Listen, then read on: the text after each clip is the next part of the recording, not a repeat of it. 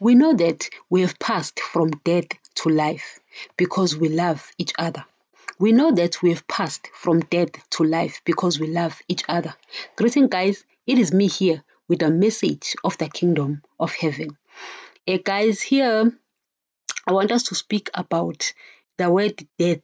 You know, uh, most of the time, you know, when you go to funerals and pastors or people preach, they they talk about death as if it's a physical thing. Guys, death is not a physical thing. Believe me when I tell you, I want you to look at the word from Jesus' point of view. I don't want you to look at the word from the people's point of view or our point of view, but look at the word from Jesus' point of view. When death speaks of death, guys, he's not speaking of an event. So death is not an event, but it is a state of being. Right? I'll repeat that. Death is not an event, but it is a state of being. How so? It's simple, guys. I don't know. It's not that I'm teaching, you know. It's just that, guys, I, have been preaching. I already have teachings, but I'm trying to connect because it's the same thing, the same message that, that is wrapped around the kingdom of heaven, you know. But there are things that I want to highlight, you know, so that you will also be convinced and understand certain things because the, the, the word of God, guys, is very deep. You know i'm not trying to interpret it. Mm-mm, i ain't doing that. But i'm just going straight to it and come with what it says you know. Nevertheless here we're talking about the fact that death guys is not an event but death is a state of being you know when a person dies physically that person is passing on to the next realm right but now i want to speak about the word death uh, so we, we we need to go back to the beginning. That's why I love the message of the kingdom of heaven because it takes us back to the beginning. So I want us to go back to the beginning and look at Adam. He's put there in the Garden of Eden, right? And while he's put there, he's spiritually alive, right? And then he's given the word of God, guys. We keep saying the same thing so that we, you, will understand this thing. From now on, you start looking at the Bible from it, guys, from a different point of view. You understand? So Adam is spiritually alive. And then he disobeys the word of God. Now, because human beings were wired or were designed to live by the word of God because we came from him, you know. So when Adam dies spiritually, what happens? He become spiritually dead. I mean, when he disobeys the word of God, he becomes spiritually dead. He dies spiritually. He's no longer the likeness of God, but he is now the likeness of Satan. Hence, he is now the son of Satan. When Jesus was speaking, I think it was the Gospel of John 8, where he was telling the Israelites that they were the children of, of Satan and they were angry with that. You know, Jesus was actually speaking about that, about that fact that right there in the beginning, you know, many of them were believing that, oh, we are the children of Abraham and all and what was and. And Jesus says, if you were children of Abraham, you will love me. You understand? You will believe me. You will take what I'm saying. You understand? Now, so Adam is put there in the Garden of Eden, right? And he disobeys the word of God and then dies spiritually. So when he died spiritually, he became dead. That's why when you read the gospel, I mean the letter uh, to the Romans that Paul wrote, he says that through one man all died. You understand? He was speaking about the spiritual dead, not physical dead, because if you read the word, you'll find that Adam died after 930 years. You understand? So the guy did not die physically. It was speaking of the spirit. His spirit died, and I was still there in Adam's loins. You were still there in Adam's loins. So you also died spiritually with him. So you were born spiritually dead. I was born spiritually dead. He disconnected from the kingdom of heaven. So I was, know, uh, I, I was connect I mean I was disconnected from the kingdom of heaven. You were disconnected from the kingdom of heaven. So you you you were dead. So being dead is a state of being is not an event. You understand? So I want you to look at death from that point of view, particularly in this podcast. You understand? Because we're speaking about death, and I've been speaking so much about death and death. You know, uh, most of the time when you go to these funerals, you know, you the way they speak about death, you, you it, it's obvious that they are speaking about physical death, death, death, death. You know, and there, there is um, a part where Paul speaks about death. He says that death, where is your power? You understand? Where is your sting? You understand? He says that death has no power anymore. Yet you find people, you know, speaking about physical death and they say there is no power. They, they don't understand what he meant, what Paul meant. When Paul said death has no power, he was speaking about spiritual death anymore because Jesus has made a way. Remember, I said that the thing, uh, the problem that Adam caused right there in the beginning was too huge, was too big that no human being could solve it. Only a God could solve that problem. Guys, it was so huge. It was so big. So only a human being, I mean, only Daddy, you understand? It was so big that it was in the God level. You know, so the word, guys, I mean, guys, the word of God, guys, is so deep, is so, guys, it's so hard that the Bible, guys, is available everywhere on earth. You can just walk and you'll come across the Bible. It, it's even cheap, it's even free of charge. You know, you can get it for free because it's all over the place. And guys, the reason it is free is because it's a need. Jesus, guys, makes sure that the things that are in need, they are free because not everyone will have money in this kingdom. So he made sure that the things that we need, they are either cheap, affordable, or they are free of charge. Those that are expensive, they are not necessarily needs, they are just wants. But the ones that are in need, Jesus made sure that you will find them cheap, affordable, or they will be free of charge. So that's why his word is, is, is free. Guys, nobody prayed and said, God, we're praying, please make make sure that we become spiritually alive. Why? We didn't know that we were spiritually dead. You understand? I mean, guys, I was saying that uh, the Israelites was given the law, were given the law. The grace and truth came through Jesus, meaning the Israelites didn't know that, that they were spiritually dead.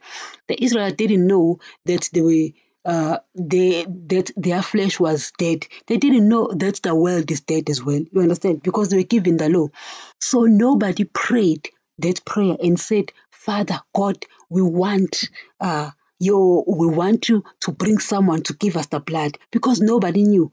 That problem was so big that only the gods you know anyone in a god level will understand guys as much as i hate satan and the guy is not in the God level.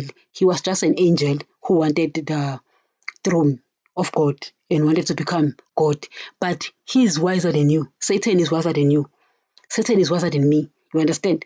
My wisdom, guys, does not come from me on my own. I that's why I take the word of Jesus because that's where I get wisdom from. You understand? I take what he says, you know, and the guy is, is the light, you know. So I believe what he says and do what he says because he is the light, you know.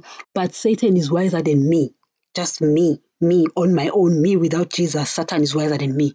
So I can't fight Satan without Jesus because Satan is wiser than me, you know. So as much as he is not a God, he's somewhere up in that level.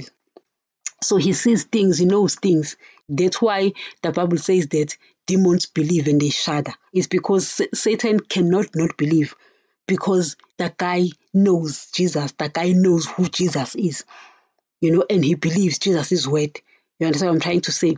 So at the end of the day, what Adam did right there in the Garden of Eden, guys, was just too much, was too big. Only Daddy could. So nobody prayed for that. Nobody asked him, uh, God, please give us someone to, to bring blood. I mean, guys, we could not even come up with the blood because here on earth, everyone came through Adam, who was spiritually dead, meaning all our blood was tainted. So no one could give us a pure blood, you know. So only Daddy could come up with something like that. Take an old man. I mean, guys, Jesus is is is is millions, zillion years old and is put in a womb and is like a baby. That is a miracle. Him being put in, in a womb is not a miracle. Your child, you, I mean, guys, you have sex and you become pregnant. That is not a miracle. I know it looks like a miracle, but it's not a miracle. You know, the way it is like that, daddy made sure that it's like that. You know, yes, it's a miracle to some extent, not uh, fully, you know, but the mere fact, I mean, guys, Adam was put in the flesh. So to me, those aren't miracles, you know. But Jesus, because the guy had already been alive and the guy was old, an old man, grandpa, Jesus is is, is grand, grand, grand, grand, grand. The guy is so old, over a billion years old, but he's put in a womb and he's a baby, you know. So that is a miracle. That one is a miracle, you know. So no one could have thought of that problem. No one could have sorted that problem, the problem of death, guys. So death is not a, an event. A person passing away today, the person is not dead. The person is just left to another realm. You know, if they if they obeyed daddy after hearing his word and after becoming uh, spiritually alive, they go and sleep under the altar. You find it in Revelation 9. They go and sleep under the altar, you know, waiting for the redemption, right? But if they didn't, they obviously go there to Hades, you know. So death is a state of being. So if you don't accept that blood, because it wasn't your fault that you died, it was simple Adam's. You understand? So now you're spiritually dead. And if you leave this realm like that, you'll, you'll never be spiritually alive. So, in other words, you are dead, but you're now passing from this realm to the other realm, but you are dead already because death is a state of being. You, you understand what I'm trying to say? So I, I want you to look at death in this podcast from that point of view that death is not an event, but it's a state of being, a state of man.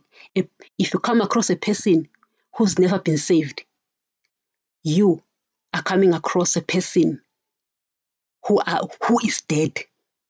You know, as I've been saying also, our flesh is dead. After Adam, guys, our flesh died. It's still dead. Nothing happens to it even if we do get saved. You know, it's just dead. The world is dead.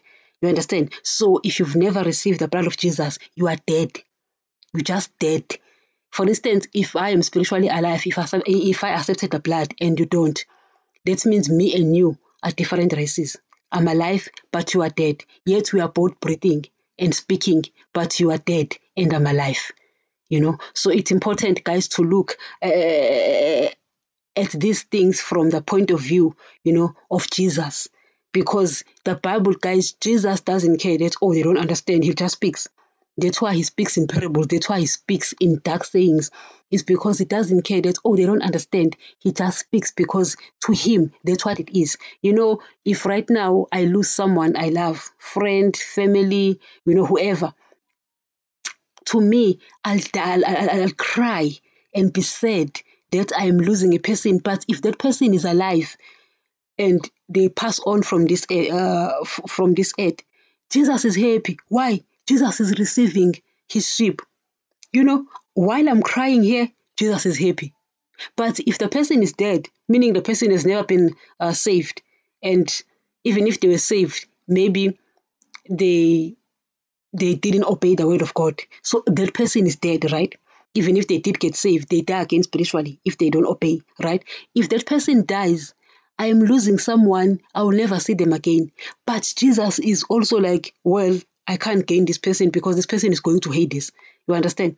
So that guys, it's, it's it's important to understand that from this two point of view because that guys is twofold. You know, yes, we call it death here, which when one dies physically, but we have to look at things from the point of view of Jesus. Guys, it's important, you know, we keep bringing up these terms as well for people to get because see, guys, with the teachings that are there at ANCO, you know, those are for people who already belong to the kingdom of heaven. But here, these teachings, I mean, these uh, preachings, the message of the kingdom of heaven, they are for the world, you know. So even the person who is, is, is, is listening to them who has never been saved will now understand what is dead because now they know that, oh, then I'm dead. No, they will realize, oh, I've never been saved.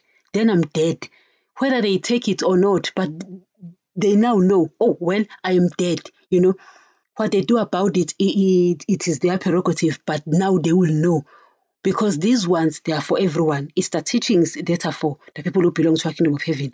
So they also know that, oh, because of Adam, I was born dead. So I am dead. Let me take the blood of Jesus because I need to be alive. you know, and then they also become alive, guys. So at the end of the day, guys, we I'm going to keep bringing up these terms as well. Keep bringing up these terms as well to put everything together, guys. To put everything together because we need to understand everything because, guys, that is word is deep and it's very very hard to understand. Thank you.